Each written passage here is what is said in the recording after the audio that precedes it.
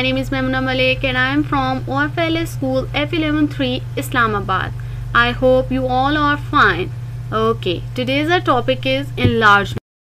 What is enlargement? In chapter 11, you studied about reflection, rotation and transformation shapes or symmetry, all of which are types of transformation.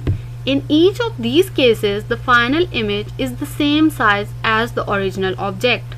Another type of transformation is enlargement.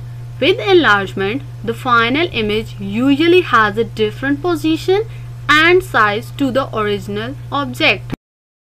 For example, we have a picture A and is, this is the original object and picture B shows the object horizontally and picture C shows it stretched vertically. Uh, can you tell me please these objects are enlarged?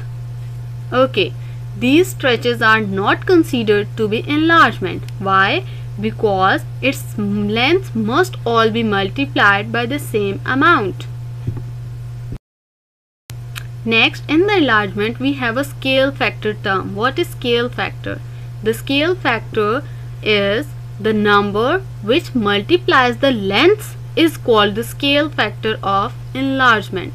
To enlarge a shape on a centimeter grid, simply multiply the length by the scale factor. Okay, now look at the triangles. We have two triangles over here. One is small and the second one is big. Now look at the small triangle. Here we have length 2 centimeter and 3 centimeter and here we have also a scale factor. Scale factor is 3. Now multiply by length and scale factor. 3 times 3 is 9 and draw the 9 centimeter over here and then the length 2 centimeter multiplied by 3 centimeter. 2 times 3 is 6 now make a big triangle length 6 centimeter and 9 centimeter. Okay now look at the hand. You only need to worry about the vertical and horizontal lengths. The diagonals will not follow.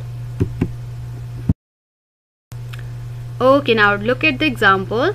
Enlarge the object by the scale factor of enlargement 2 we have a scale factor of enlargement over here 2 now enlarge this shape. How we can enlarge this shape?